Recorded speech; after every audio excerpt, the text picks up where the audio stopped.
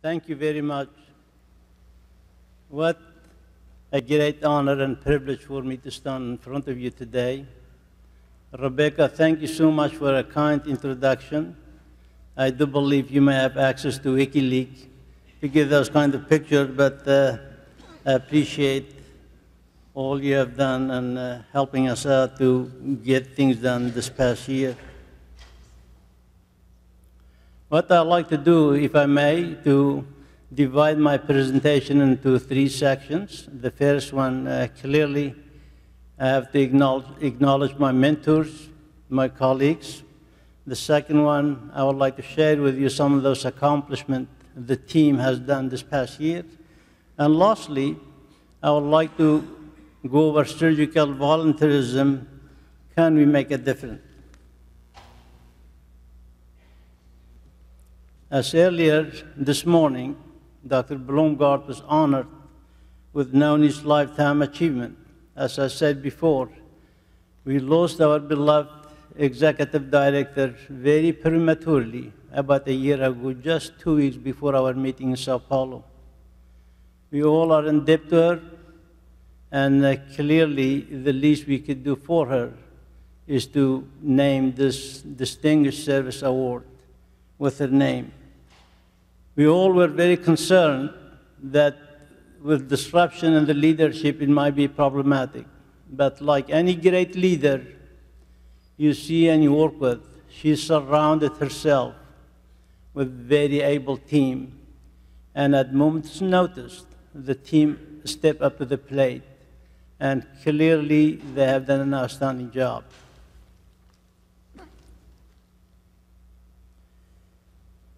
What a formidable team.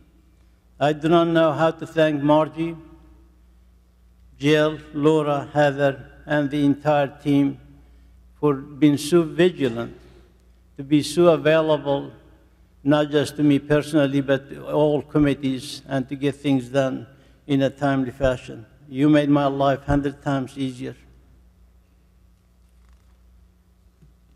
We are indebted to these illustrious gentlemen. They understood the complexity of hepatopancreatic biliary diseases and were pivotal in establishing HPB as subspecialty. Their hard work had led to the creation of AHPBA. They were right on the dot, and our vibrant organization owe them a debt of gratitude.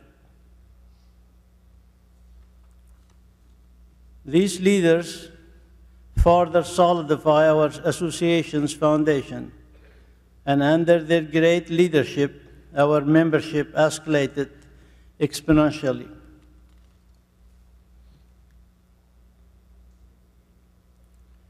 I would like to recognize Mark Callery, who called the AHPBA a strategy retreat in October 11, 2008 in San Francisco entitled Going Global, Building Collaboration that Strengthen Our HPBA Today and Shape It for Tomorrow. At this retreat, the International Relations Ad Hoc Committee was established, and I was very fortunate uh, to be named and appointed as inaugural chair. At our spring meeting in the following year of 2009, I was appointed uh, to run the standard committee. Mark, many thanks for your vision, for your support, and, and for your confidence. This group of leaders are true doers. They push the envelope, and for the first time, they not only embark on the outreach and humanitarian teams, but also they themselves led these teams. And I think that was the critical in order for this outreach to be successful. When leadership does it, members would follow, no questions asked about it. But more importantly, they continue to help us with both outreach team as well as with chapter activity. This has led to the creation of 1819 chapters. Uh, what an impressive achievement Many congratulations are in, uh, in order to you guys. I am very grateful to Rebecca, Chuck, and Philippe for their never-ending support and for their advice. We spent significant amount of time on conference call, made sure everything was taken care of it. I know our organization are in solid hands, and I'm very confident they will take it to the next level.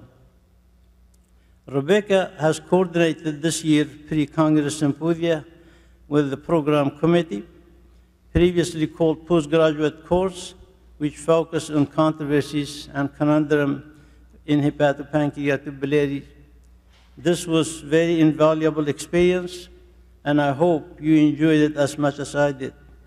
Chuck, as our treasurer, he has made very sure that our organization is physically very sound, and uh, clearly he has been uh, very supportive of our textbook. Uh, Philippe's input has been very valuable, especially when we needed advice re Latin America's perspective. Both Shishir and Shimul are powerhouses. You may not believe it, but by end of last July, the entire program was ironed out except for grading the abstract. Many thanks to the entire program committee for organizing such an outstanding scientific program. The theme of the program this year is securing the future through research, education, and mentorship. The program will include a diverse variety of topics with the next generation of HPB surgeon in mind. There will be, greater, there will be a greater focus on transplant topics, world-leading speakers, and a spirited debate. Bill and Will both worked very hard to make sure our meeting is physically sound. Amelia and Mariano managed to send more teams in 2016 and this year than ever before. And they will show some of their work at the International Relations Symposium, and I would hope you will be able to attend and see that since my time is very limited. Sean has developed conflict of interest policy. In addition, he really has been a tiger with the outreach activity. Uh, you know, uh, he is not just there for fun, but he usually in action and doing extremely well. I'm very grateful for his support. Roberto and Chu have been working on our webpage, and they have been very instrumental with Latin translation, social media, among other things. Uh, Mansour deserves the credit for being so persuasive about convincing the Council for Second Grant, also for organizing the research uh, symposia. Also, our physician extenders are very critical of what we do, and Lindsay is leading the Allied Health Subcommittee, and I'm happy to inform you that their numbers are escalating as well. Mike deserves a lot of credit for spearheading heading and revamping the clinical trials and for working so closely with Dr. Pitt and the staff and NSQIP at ACS. Magellan's committee is very important and critical given the rapidly emerging technologies and new therapeutic modalities.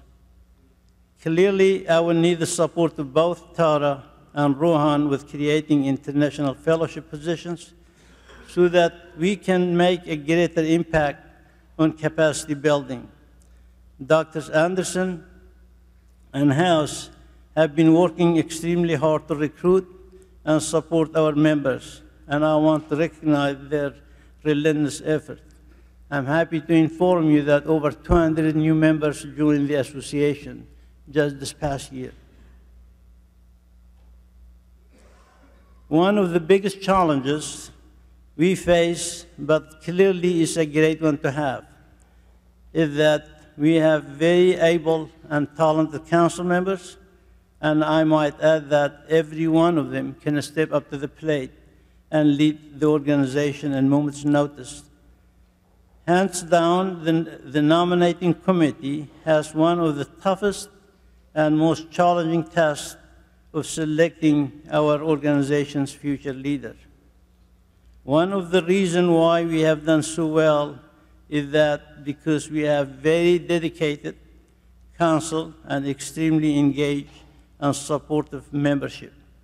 Because of that, I want to personally thank our executive council and you, the members. Rebecca touched on this, but it clearly it would be a remiss if I did not recognize my forefathers. It is nearly impossible for me to find family photos or me in younger days. This is because our house was flat on at least three separate occasions. In Kurdistan by the ruthless Saddam Hussein.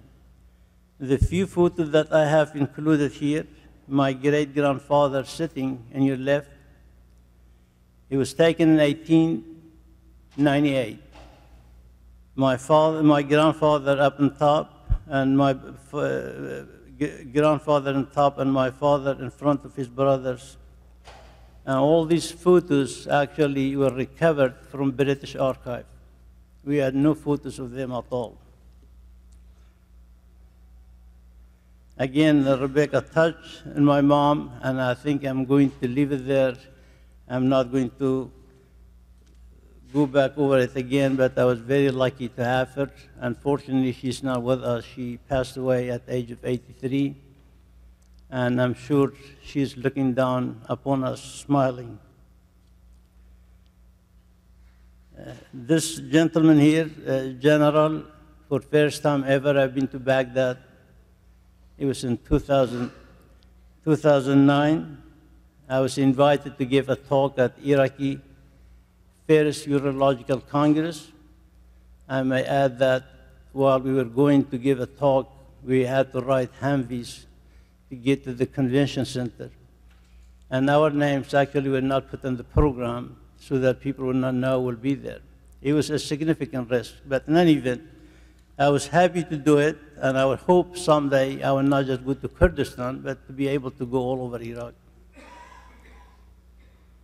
Again, I do not know how to express my heartfelt gratitude to my wife Maysoon and our four children. My wife has single-handedly raised our children to allow me to pursue my career. We are extremely blessed to have such beautiful and well-behaved children.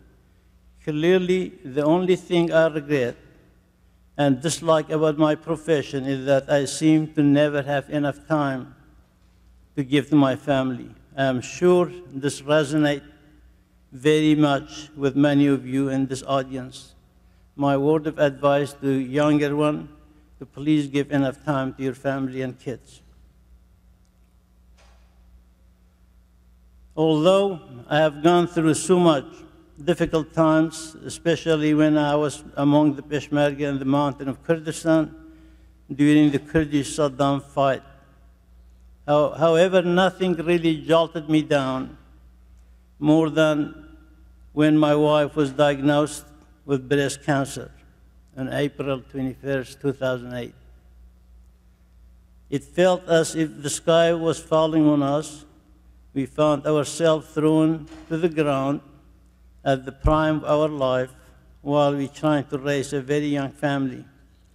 Many thanks to Almighty God and to her physician, Dr. Quinn Chu, a surgical oncologist, for taking such a great care of her, and also the great support from our community and friends. In all honesty, our house felt like a flower shop after her mastectomy. I would like to back up a bit. On May 1st, 1976, I arrived in Nashville, Tennessee as a, ref a refugee from Kurdistan of Iraq, far away from my family. And I think I landed there because I think Nashville is center of universe, and I'm sure Dr. Pinson would agree. I had just graduated from high school in a refugee camp and barely spoke a few words of English. We were greeted with open arms Dr. Owens was professor of genetics at David Lipscomb College, now is David Lipscomb University, and he was also chair of the pre-med committee. Professor Franklin Jones was chairman of Education Department at Tennessee State University, and Ms. Melba, among other help, others, helped us settle in Nashville. They helped us find jobs and took us to public library to study English at night as second language. I'm sure many of you think that I should continue be taking English classes. They took us under their arms like their own. They were like God's angels on earth. We shall remain in debt to them forever.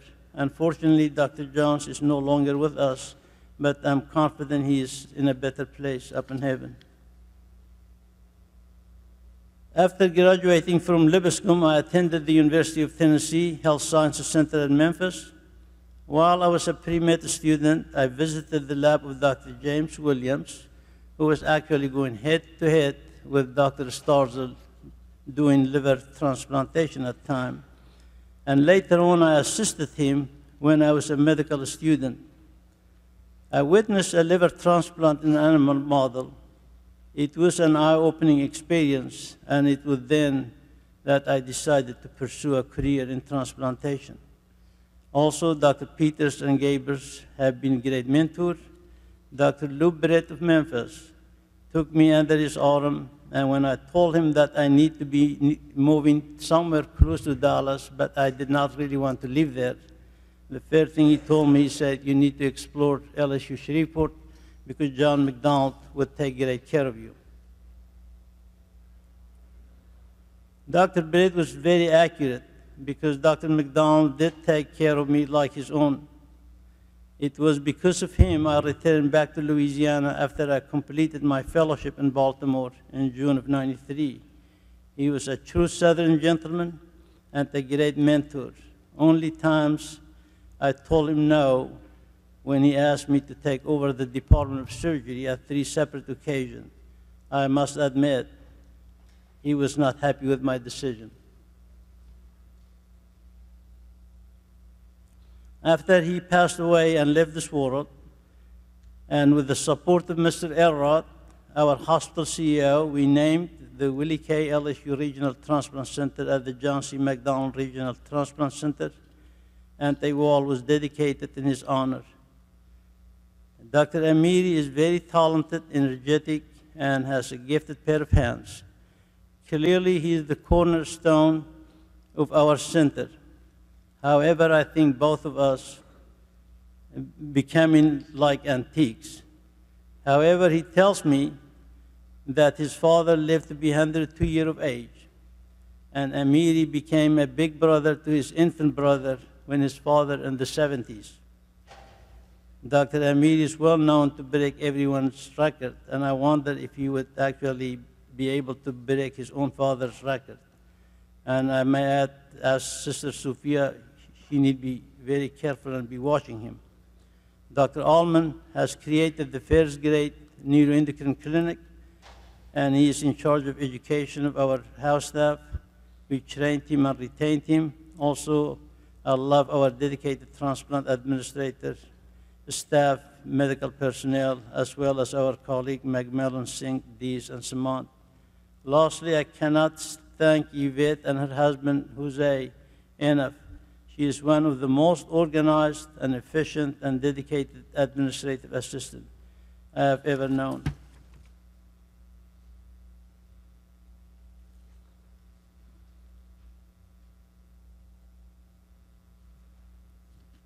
It has been a blessing for us to get to know this wonderful dynamic family. Quinn is a true surgeon scientist, and he is a cornerstone of the Department of Surgery at LSU. He has not only run with our AHPBA book, but also he has been leading a significant number of these teams for more than 15 years. Uh, he was actually given, appointed by President uh, Obama to American Vietnam Foundation. Uh, Trina has been very instrumental with helping us out with this textbook legal paperwork. Without her help, probably would cost us an arm and leg.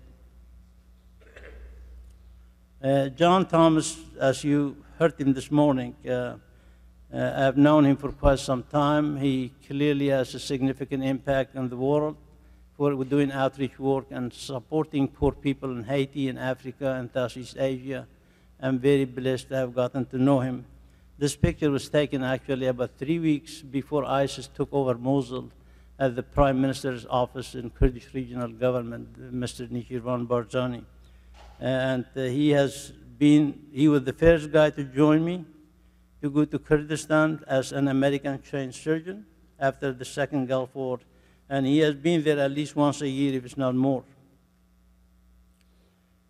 From Louisiana to Baltimore, I was very fortunate to have been given a chance to be trained as a transplant surgeon at Hopkins under the guidance of great mentors such as Mel Williams, Andrew Klein, Paul Colombani, and Jim Burdick.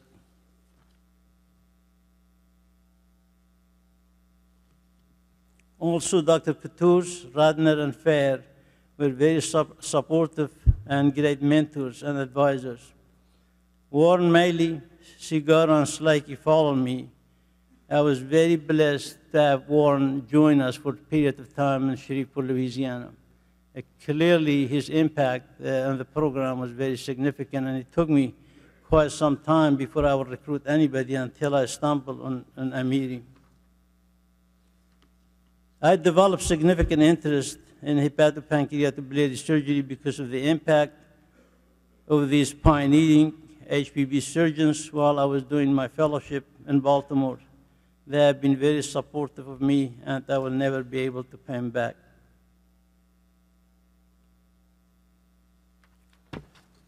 A lot of credit goes to Javier, Oscar, and many of you who actually have worked so, so hard to create so many chapters all over Central Latin America and, and Caribbean.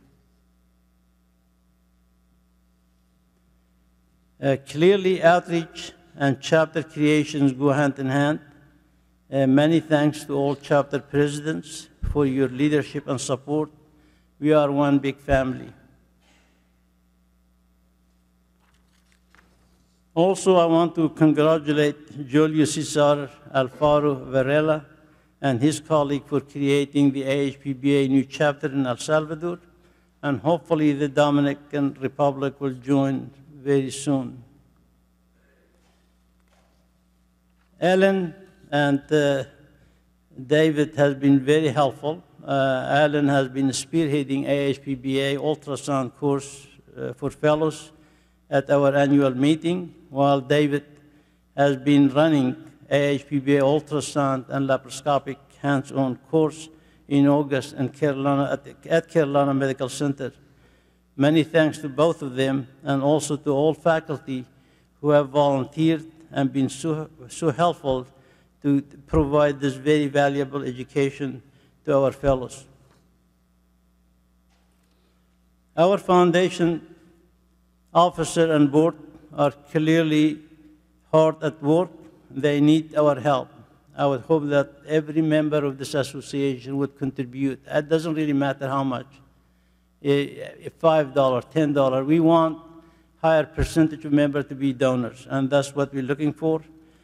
Um, the foundation gives so much, including all those awards you saw earlier today, research grant, fellows travel, and outreach activity and chapter support. Without them, we would not be able to do what we are doing right now. Uh, many of you participated in Foundation Fund Run earlier today. And please also do your best to participate in the dance tonight. I think we're all going to have a great time. Both Oscar and Jonica have facilitated the process of harmonization between I and A. Now every one of us have a dual membership of both I and A with a much reduced rate. Also, they have been very supportive of the joint outreach capacity building team through their effort, our outreach team will be able to use WHO logo before too long, which will give our team significant protection and also to facilitate the transit through international airport.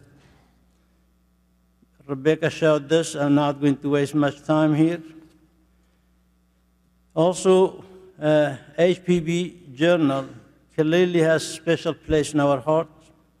Many thanks goes to Editor-in-Chief Professor Gardner and to the editor Callery, Connor, and Wigmore for lifting our journal to its prominence.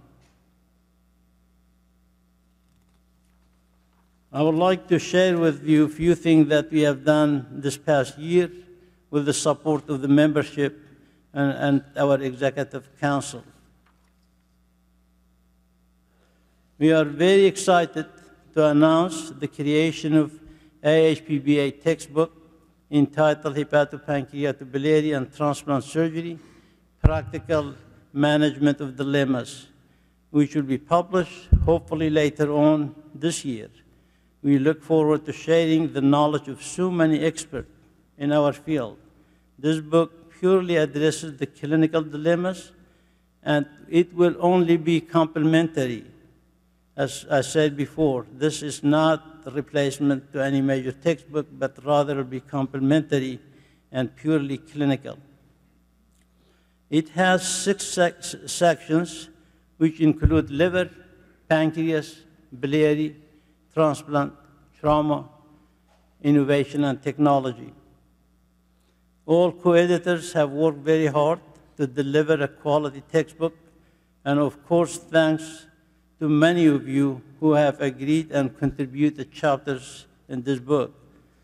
Also, I want to acknowledge that Dr. Chu had spearheaded these endeavors, and he clearly deserved the most credit.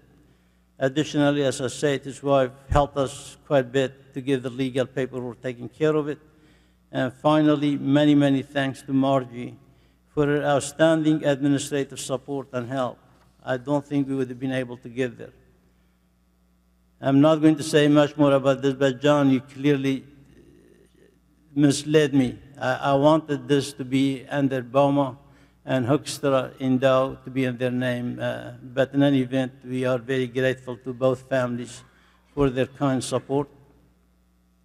Others, earlier today, we show you that we have ACS, uh, AHPBA Brandeis Leadership and Policy Award for first time. We have established that Humanitarian Medical Award, clearly having known his name and Distinguished Service Award.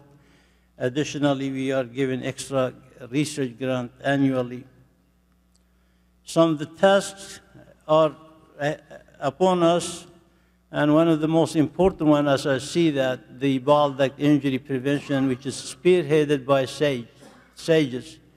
And clearly, uh, we are hoping all of this would materialize by next, next year digestive week, although we have not have detailed information because we'll be meeting tomorrow. Uh, also, uh, one of the things uh, we have been doing, trying to collaborate more closely with uh, ASTS. I'm very happy to see Dr. Miller is here. He kind of surprised me to see him here, but I'm very honored to have him at our meeting. Uh, the, the team have been working with him, and they attended the ASTS uh, winter meeting at this hotel. they, they, they Chris, Shishir, and Shimul, all of them were here, and it sounds like the, the council uh, received it very positively, and hopefully we'll have some consensus conference addressing that. Uh, also, the supporting the pre-operative module for fellows, which group in Toronto are working on it, and additionally working group for AHB training and curriculum, and GI Center of Excellence, Rebecca is leading those efforts uh, under auspice of the ACS. As you see here, uh, outreach trips last year, a total of six were sent out. This year, actually, there are two or three teams are missing from the slide, but at least will be 14, 15 teams will be going this year. We have already been to Nicaragua, team been to Nigeria, team been to Bolivia. We are getting geared up to take some 20 out surgeons, physicians to Kurdistan in the middle of May. Uh, so things in July will be going to Peru.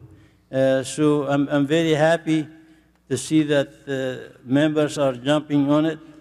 Uh, this is a very noble uh, effort, and I hope that all of you uh, will dedicate some time, energy, effort into it. Additionally, our organization have supported last year at least six chapter meetings. And uh, this year, we will be supporting six more. We have already been um, uh, to Caribbean and Nicaragua already this year. There will be some regional chapter, some chapter meeting and some regional meeting actually. Uh, so I'm, I'm very happy that we are able to do that. Now I kind of like to bring to your attention, you know, why, why I'm even talking about this to begin with. If you read the Lancet Commissions, and I recommend it to everybody to read it, approximately 5 billion people, or two-thirds of world population, lack access to safe, affordable surgical and anesthesia care. Of the 313 million procedures done worldwide, only 6% done in the poorest countries. These staggering statistics peak volume to the need of intensive capacity building in many parts of the world. If you look at this figure, which illustrate the annual and cumulative gross domestic product loss in low income and middle income countries, if you look at these five diseases, look at injuries, look at neoplasm, look at digestive, all of these fall in our territory and uh, under our specialty. As you see that something need to be done before these issues become actually much bigger problem. How can we make a difference? I challenge all members in your prospective institution to establish international hepatopancreatobiliary or surgical oncology transplant fellowship positions. We are at Shreveport are currently in the process of sponsoring one international surgeon to spend at least one to, one to three years with us to be trained in hepatobiliary, oncology, uh, transplant, and even trauma. Such fellowship is supported by our hospital CEO and community. I believe that many of you can leverage your own your, your influence within your own community to do exactly the same. I would like to challenge you uh, to be doing exactly the same. I encourage our own AHPBA Foundation to embrace this vision and at the same time to embark on grant writing and fundraising. There are too many NGO, too many foundations. Money is there, they just, you need to seek it uh, because they don't trust uh, others. Uh, our reputation clearly would uh, be very helpful for what we have done over the years. Uh, there is no reason why organizations such as SO, SAGES, A, HPBA, SUS cannot send teams together for a common cause. I highly encourage my successor, Rebecca Minter, to appoint an ad hoc committee and the International Relations Committee to explore these options to see if we could team up and sending these teams together. The future of international surgical mission is clearly in telemedicine and telefellowship. And I do em embrace this. Finally, we need to continue to work with WHO. All this money been spent in great areas of medical, HIV, TB, you know, all these uh, communicable disease, which is very noble. But for God's sake, a little portion should be dedicated to surgery as well. And only way for us to change that we have to secure seats in the board of the WHO. Uh, it's very easy to say surgery is very expensive. We're not going to go there. Why should we do it? Mahatma Gandhi once said, the best way to find yourself is to lose yourself in the service of others. I believe that it's our collective responsibility to take care of the less fortunate members of our world.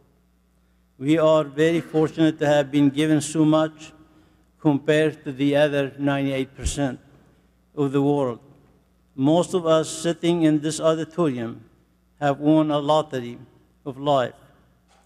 We have been given a gift and talent, and I believe that the burden, of, burden is on us to use these not only to cure and ease pain, and suffering of others, but also to make our world a better place.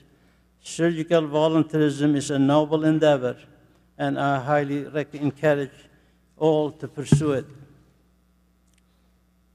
I know it could be done because we have done it. And I would like to share with you just two small examples. In 2011, uh, Dr. Nick led a team, and I was fortunate to be with him to go to Nicaragua. Nicaragua, a nation of six million, the second poorest in the Western Hemisphere. It took a shorter flight from Houston to Managua than from Houston to San Francisco. Yet they have never done a single procedure about major liver resection or Whipple's. It was then when a major liver resection was done. Many congratulations to Sergio Lopez Torres, hepatopancreatobiliary surgeon who is also has established Nicaragua hepatopancreatobiliary chapter. Now, Sergio, Julio, and Oscar are all able to perform hepatopancreatobiliary surgeries as well as interventional radiology procedures.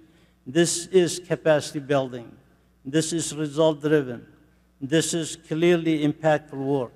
And it can be duplicated, it can be done in other part of the world. Here is Nick Vute. We were together in the operating room using an ancient ultrasound, trying to see the images on border of the lesion. This is required an extended uh, right hepatectomy. Team Nick was all excited to see this ancient ultrasound, so we took a picture together in, in that ultrasound. Uh, this uh, gentleman I'm standing with, he had gallbladder cancer two and a half years ago. And Sean Cleary, he performed liver resection. We just saw him when we were there in January, no evidence of recurrences and still kicking. Keep our finger crossed. Uh, but he is very supportive of what we do.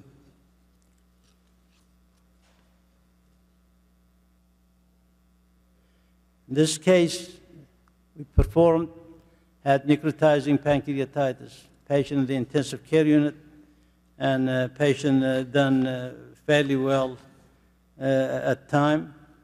Uh, we left, he was, she was still intubated, but clearly all pressures were off and she was doing much better. You may not believe it, but they did not have a CAT scan at their major hospital. I want to share this picture with you. Um, in 2011, when we went there, we had the symposia. There were not but maybe a dozen of individuals in attendance. This year, the chapter, in collaboration with the Surgical Association of Nicaragua, they're in excess of 160 people in the auditorium. So clearly, the message is getting there, and I'll give a lot of credit to, to the team in Nicaragua. Why I say that we need to collaborate. With collaboration, better work can be done. I had managed to get Operation Hope on board. I managed to get World Surgical Foundation on board. Dr. Amiri goes to Honduras at least once a year with the World Surgical Foundation. And these guys do like 200 cases within like matter of 10 days, uh, something like that. Uh, but uh, as all of you know, uh, the region went through horrific wars, and clearly genocide was committed. And I went back there 25 years ago, actually in 1992. Uh, this is uh, what most people think or see as symbol of Halabja, when the chemical warfare were used, thousands of people vanished away. Some 4,500 villages were, were demolished completely. And at, during Anfal campaign, 189,000 basically were buried alive with mass graves. All of these photos you have seen during TV at one time or another, I just want to kind of show it to you what has happened there. That's why I justified to going back to that part of the world. I knew they needed it. The West could not have access to it. I was taking a risk to go through Turkey to get there. But if you look at it here, even our own elementary and schools, in 1974, when we got under attack, our only university was attacked before any military headquarters or political headquarters the target education, education, and education. Yet our own kids, either they have to go to the caves or go back in the same building. Uh, Sometimes I question their parents for their judgment. Uh, after the first Gulf War, millions of people went to mountain. at least 1,000 people were dying every day. And uh, uh, Secretary Baker said we cannot let this kind of genocide continue. And that's when British state and France decided to create no-fly zone. And that's where I got in in 92. Came through Zakho and ended up in Duhok, where I took next at least 25 years to make a hub out of there and start working there. This is my picture in 92 when I got to the checkpoint. The Peshmerga greeted me and escorted me to city of Duhok. This one over here, this is the capital Erbil, where actually now we have an airport in it.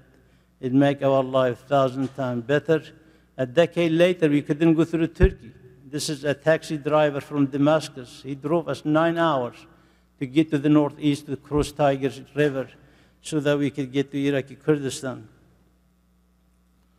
Uh, about 2004, after the second Gulf War, an airport was built in Erbil, and Dr. John Thomas, here sitting there, we managed to fly in directly from Vienna to the Kurdish region of Iraq. This is one of our team at International Airport in Erbil. And the President Barzani greeted the team and he made sure whatever we needed we were at our disposal. Every time we go, we gave a state-of-art symposia, usually well-attended conferences. Another team to Soleimani at the 25th anniversary of Halabja chemical warfare.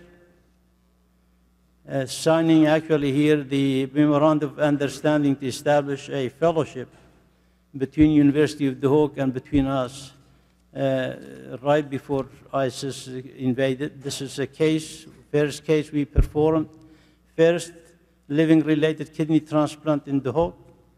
And I must say that I just talked to them. They said they're almost done 3,000 kidney transplant.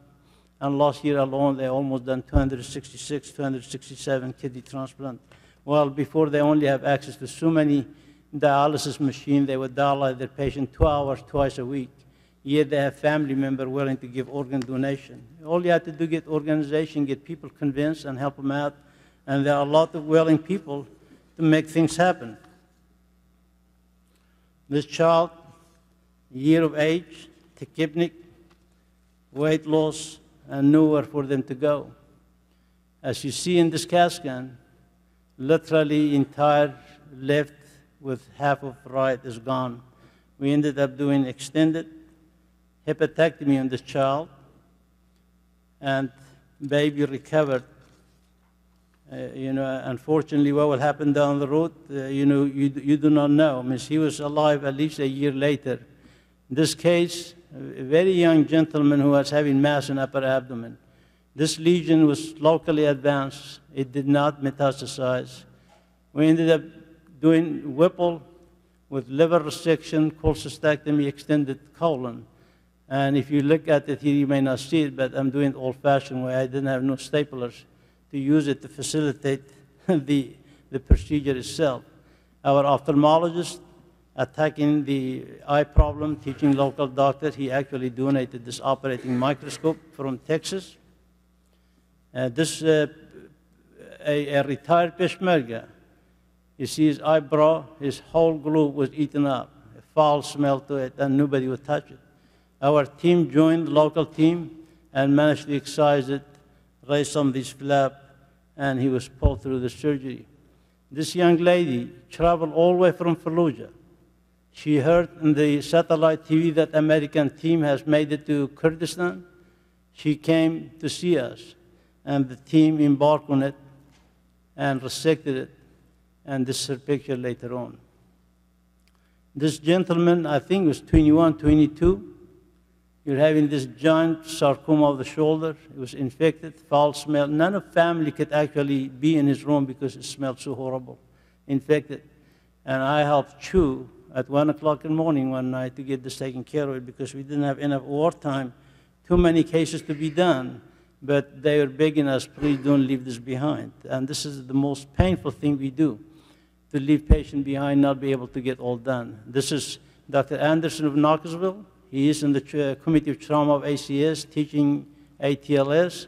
We have a ER physician in New Orleans, and uh, Dr. Lou Smith, uh, trauma surgeons, actually teaching these people how to handle the trauma victims. Our neurosurgeons fixed the spine, and now those neurosurgeons are able to handle most of this pathology. We help them with Duhok Journal. They never had a medical journal in Kurdistan, and this is exactly what we're trying to do with Sergio in, in Nicaragua. They do not have a medical journal. Uh, why not? I told them the proceeding of the symposia could make an addition, and you could make two three a year, uh, and that's what needs to be done. Supplies, and again, uh, we have been able to get a lot done for Duhok, and uh, it's uh, been very, very gratifying. And I would like to con- conclude uh, with this statement for Mother Teresa. I can do things you cannot. You can do things I cannot. Together, we could do great things. And finally, I want uh, to say, God bless America. God bless all of you. God bless all peace loving nation. Thank you for your time.